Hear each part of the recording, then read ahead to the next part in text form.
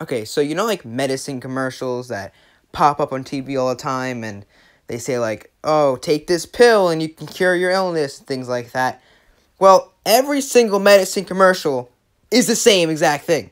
I dare you to find one medicine commercial that does not have these traits.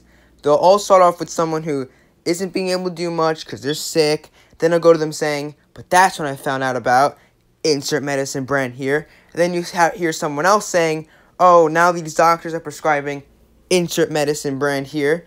And then now the next thing you know, now the person's having fun with life and they're doing a bunch of stuff. And then in the background, you just hear a voice just saying all the side effects of this medicine that's going to kill you. And all the clips that are being shown when they're all happy and stuff, it's always in slow motion. That's another thing. The, literally every time. There will not be a clip that's not in slow motion. It's like if they're walking, they're in slow motion. If they're laughing, they're in slow motion.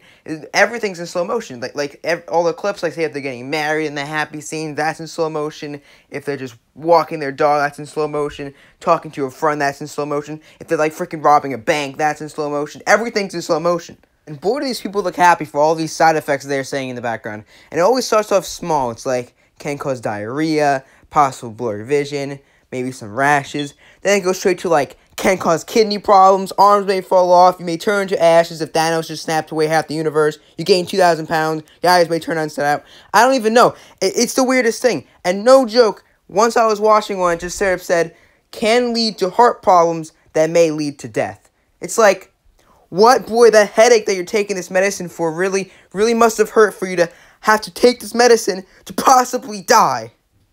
And if you actually don't even understand what I'm talking about right now, I made a little reenactment so you can exactly see how these commercials go down. So, um, yeah, just sit back and enjoy the rest of the video.